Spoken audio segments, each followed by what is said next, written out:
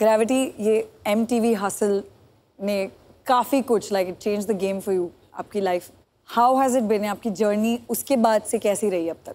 I was able to you know mummy का एक गहना वॉज़ बोलते ना कि रखा जाता है ऐसा गिरवी hmm. रखा जाता है।